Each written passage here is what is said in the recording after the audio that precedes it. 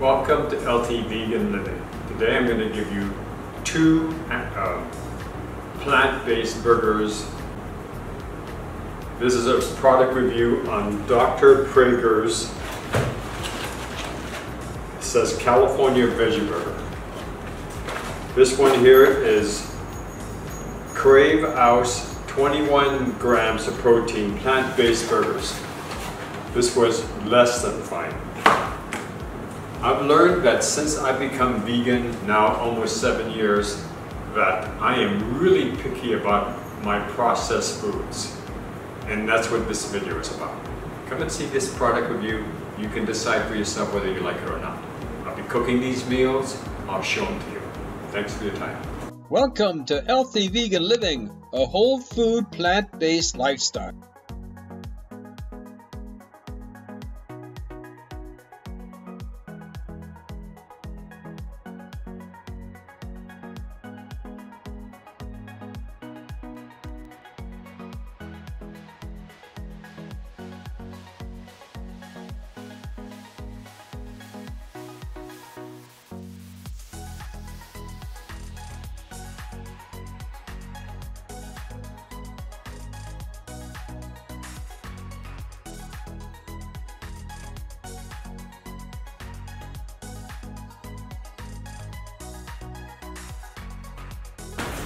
Okay, so this one here, it says 250 calories, 17 grams of fat, no cholesterol, 390 milligrams of sodium. That's not bad.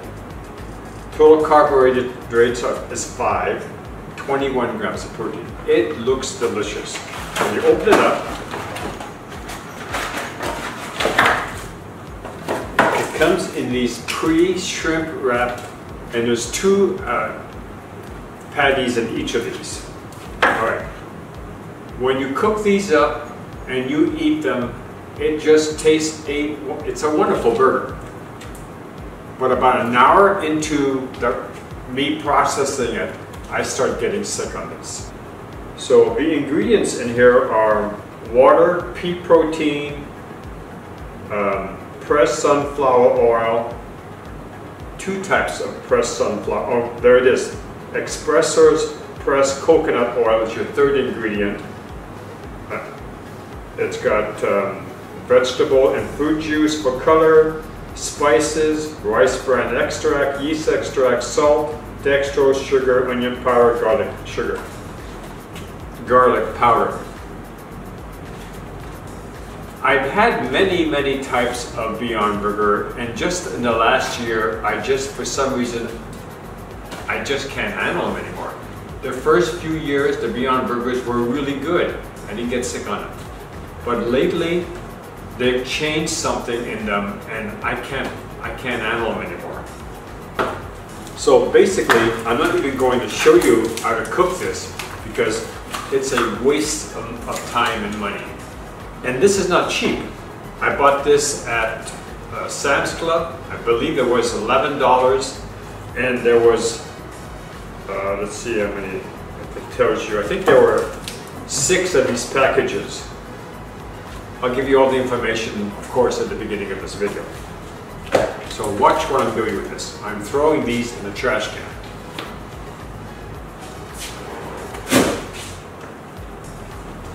And the cardboard is going in my recycling.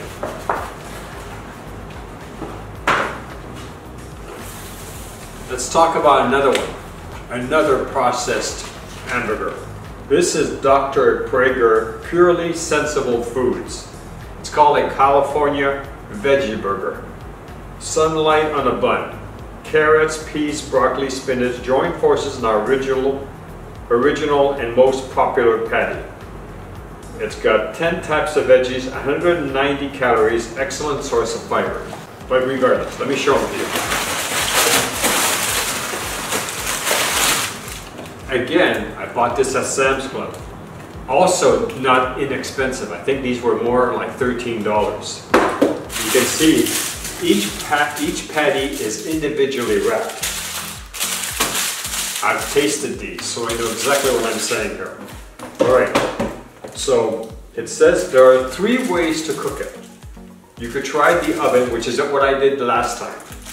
You could use it on the skillet, which is what I'm gonna do this time. And you can use it in a microwave, which I don't recommend. When you put it in the oven, it tells you to preheat the oven or a toaster oven to 450 degrees Fahrenheit. Place the frozen burger on an ungreased baking pan. What I did is I put it on parchment paper. Bake it for approximately 10 minutes per side until eaten through and brown to taste. For me, what it did is basically it thawed itself. And then it was a very flimsy pate. It just basically fell apart in a sense that it just simply let itself go. And when I ate it, it basically, to me, it tasted like just a vegetable mess. I didn't really think it was worth the money that I'm gonna be. I'm gonna have to come up with some kind of, of thing to do with all the rest of these. For me, this didn't work, but I'm gonna show you tonight uh, what it looks like if you cook it in a skillet. Well, for now, we're just gonna put these back in and we're gonna prepare the skillet for it. It's disappointing when you're buying vegan food that doesn't work. And some of these patties do work and a lot of them don't. I've been enjoying a lot of the bean pates or the pre-made. There are times when I just don't have the time to put my dinner together. And it's just nice if I have something simple. That's why I bought this because I knew I was going to be spending lots of time in the garden and I wanted to have some simple, easy dinners. Alright, so I'm going to show you how to cook it and we'll get it started. Okay, this is what you need. You need your patty. I really love this cheese. It's called Go Veggie. It's lactose free, gluten free, no cholesterol. I've used it many, many times in many of the types of cooking I've, I've used. For me, it works. It has more ingredients than I would like to have, but it's a trade-off. You need a frying pan. You'll need a stove. Oops. You'll need a frying pan or at least a stove. I kicked the, the leg off. And then you're going to need a spatula. And then I'm going to read you the directions next. We're going to do the skillet. Preheat a non-skip stick pan over medium heat. Cook burger for approximately 6 minutes per side until heated through and brown to taste. Yeah, okay, we'll see if that works. Alright, so I'm not going to use this giant skillet. I'm going to use this one. We're not going to use any oil because we want to make this, well, I use, I just don't cook with oil. So why start now? Okay. I'm going to show you one skillet cooked this way and the other one with cheese on top. The reason I use cheese on top is because it holds the pate together. So we'll just take, uh, this is really delicious cheese. If you're vegan or you're thinking about going plant-based, you can't go wrong with Go Veggie. It's got 40 calories per slice if you're worried about calories, but on my diet, I don't have to worry about calories. Okay, now we set the clock for six minutes. And we're not gonna watch it for six minutes. What I am gonna do is I'm going to let cook it. The timer will tell me when to flip it. I'll show you when I flip it.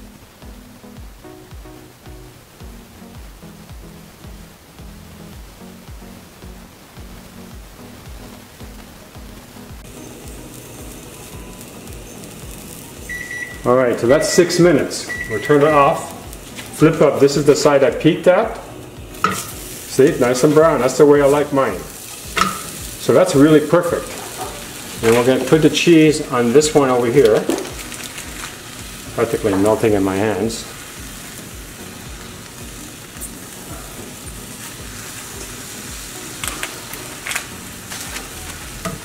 Get up a little bit, or this is going to make a mess. You know what, we're going to put the cheese on the other one too. because it's not going to be flipped anymore. And then you reset the timer to five. Okay, and we're just going to pull this off. It's been out too long, so now it's misbehaving. They call vegan cheese. Okay. Now we have to see. I missed it over there, and it's making a mess in the pan. But you know, okay. Now let me go get a plate.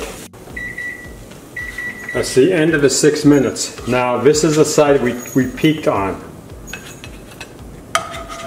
So let's see what it looks like. See, it looks really nice. Okay. Now I don't know if you noticed, but the hamburgers didn't flip over. They seem to be much more together. When I cooked them in the oven, they, they were falling apart. Now we're going to test them and eat them. So this is what it looks like when they started. This is what they look like 12 minutes on a frying pan. Let's take this hot frying pan off the counter and make sure we turn off our gas, which I had left on. Now let's test it. So when I had it in the oven, I did not like the taste. I didn't like how it fell apart. There was nothing about this burger that I liked. Cooking it in the in the frying pan with vegan cheese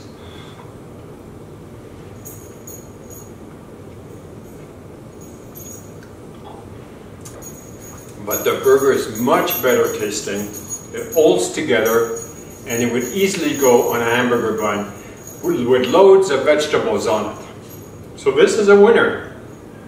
This is good, but still, Dr. Praeger, this is vegan by the way, works if you use a skillet pan. It actually is quite good. It resembles a hamburger it works well in a bun. If you like what you see, subscribe. And if you like this video, give us a thumbs up.